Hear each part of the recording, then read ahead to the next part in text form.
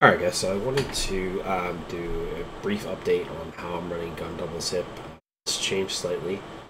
Um, so I actually am now, instead of putting my slot apprentice um, on the right side of the field, he's now in the slot technically. Um, and there's a few different setups I, have been using that I think are a little bit better um, than what we were using before. It allows the offense to be a little bit more diverse, a little bit tougher to defend. I'm going to just go through the plays that I'm using. Um, obviously, flood drive is one of our main plays. Uh, I run this mainly against zone coverage um, or like backed off man coverage. And this is again, this is like one of the this is a freestyle offense. So essentially, what that means is I kind of just read and react to what my opponent's doing, and I have some really good routes in the field that I can utilize to attack different areas of the field as I see fit. Um, but one of the route combos I'm using is putting the slot apprentice in the corner, streak the guy next to him, and drag the tight end. Um, this is very good against zone coverage, multiple levels that they have to defend. You still have to defend the halfback on the table route. Uh, and then you also have the corner route on the left and the post over the middle. Um, like we talked about in another video, that Y route's going to be a route that pushes the uh, free safety back so you can fit this post in. So he has to respect that and it gives you plenty of space, right? Uh, another route combo I'm using is, uh, again, putting the slot apprentice in the corner and motioning him over. And then I'll do something like this, right? So uh, you'll have the street corner flat on this side of the field with a post and then this backside in route is actually not too bad because it clears out um, because not, not clears out because you have four receivers on this side of the field. Most of the zones are going to be on the right typically. Um, and then you have not too many zones over here on the left. So as he runs across there you, you kind of have this that's a really bad throw by me. You have that like late breaking in route. I'm not going to show you guys how to throw corner routes but obviously that's still option. Um, so that's pretty much it for that play. I don't really do a whole lot different. Like we talked about in the other video, if I see kind of soft zone coverage, I'll just quick snap this and then throw that in right away. Um, as it gets right underneath the zone pretty quick. So uh, let's take a look at um, let's take a look at the PA play real quick. The PA go slot cross.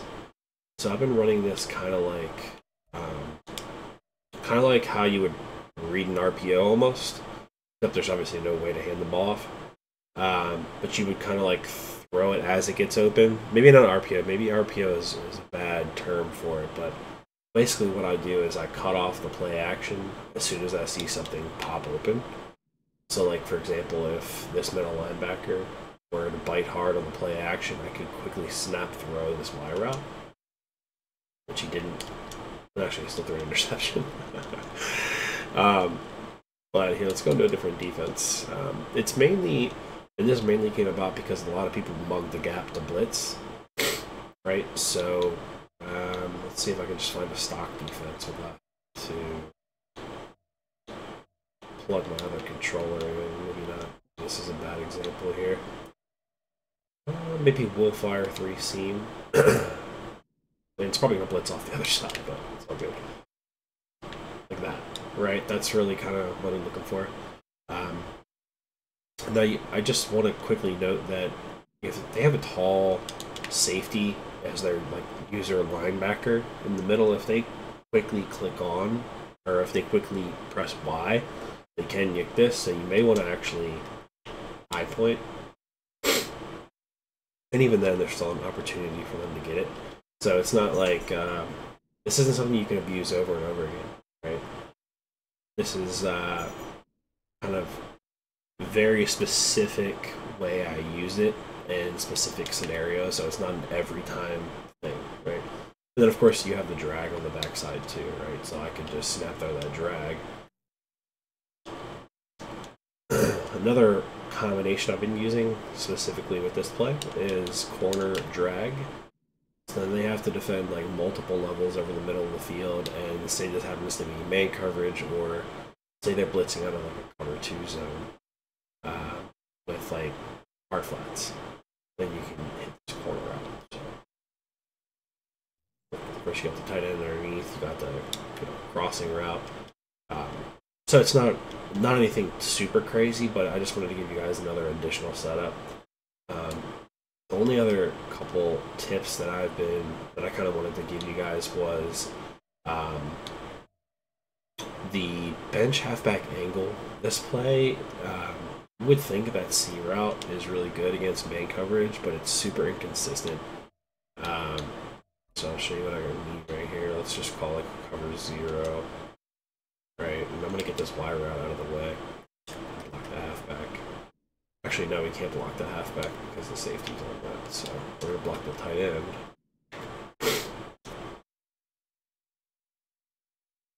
You see how he just did not get the separation that you would think.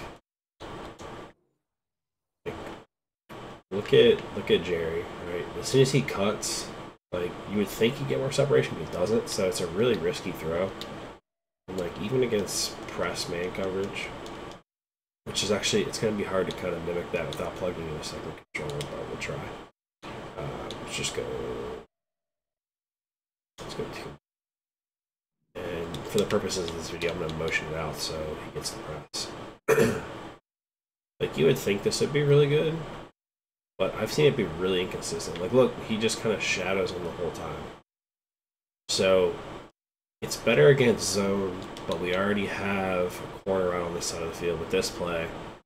Of course, you know, this play gives us the halfback angle route, which really should be the focus of your, your reads on this. You use this when you see, you know, if you have an aggressive user over the middle of the field and he's guarding the vertical routes, you kind of just slip this in, or if he's aggressively running to the flat, sometimes you can trick them uh, thinking, having them thinking that's like a table route, and it ends up being you know, angle route, or if they're just not guarding the halfback at all and they're letting the user, or excuse me, the CPU guard him more like a man coverage assignment, then that's pretty good.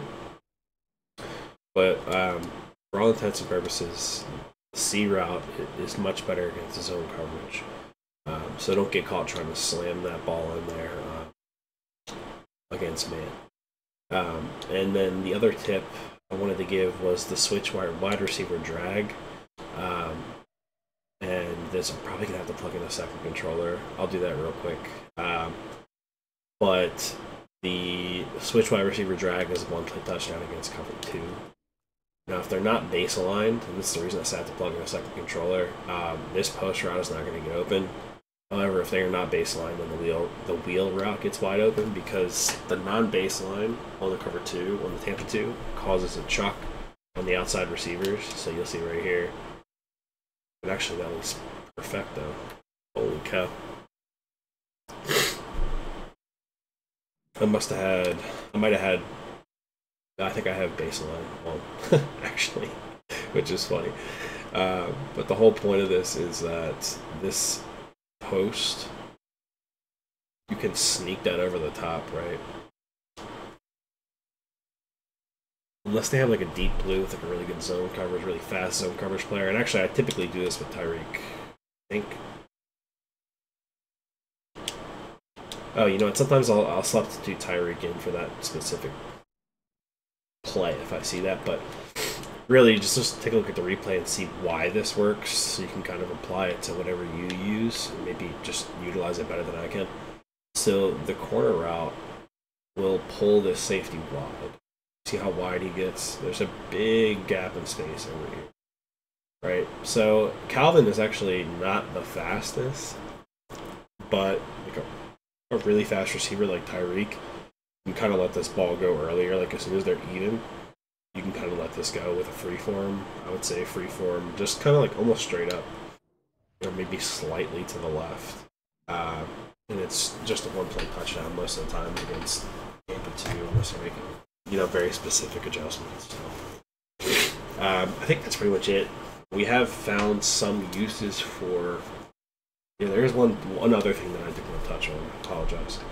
Um, this play levels I've actually found a use for it. Now, I didn't like it at first. I thought it was kind of stupid. Um, but what if they're running cover zero, like a non-pressed man, you can like I, I like this route combo personally, but see the Y route. That's actually a bad example because the safety's guarding him. Let's try to find a um, cover zero. We'll go nickel normal. Right, we'll go nickel normal where the corner is lined up over top of him. Uh, we go. We'll go overstorm brief. Right. Watch how much separation he gets. You see that?